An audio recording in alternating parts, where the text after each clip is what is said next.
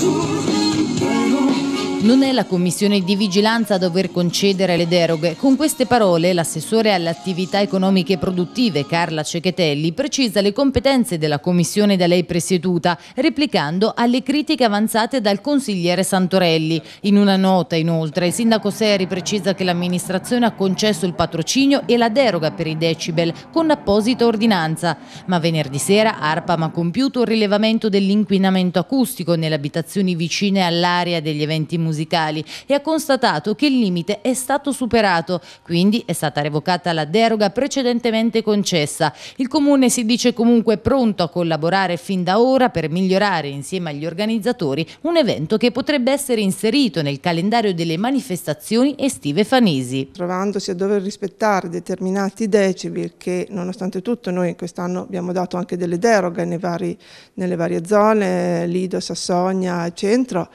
e quindi da rispettare l'ordinanza, che diciamo la deroga acustica che è stata data dall'ufficio ambiente.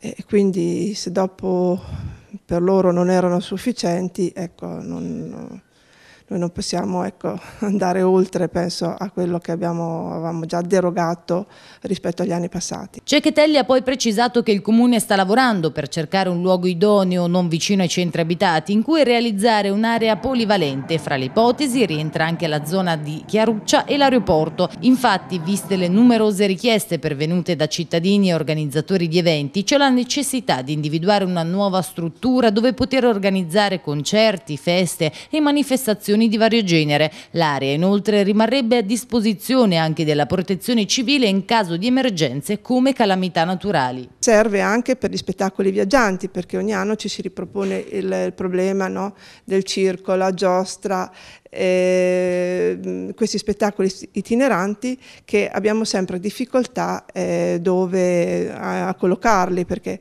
l'unico posto è la pista Dego Karma, anche lì c'è l'amministrazione ha un progetto sopra di riqualificazione dell'area, della strada delle barche e quindi prima o poi quell'area non sarà più disponibile. Certamente quest'area deve essere, bisogna fare degli investimenti perché necessitano dei sottoservizi, eh, impianti elettrici, acquedotto, fogne, ecco, quindi cercare di individuare un'area dove ha queste, ehm, questi servizi oppure il minimo indispensabile insomma, per poterla adibire, ecco, con costi sicuramente contenuti.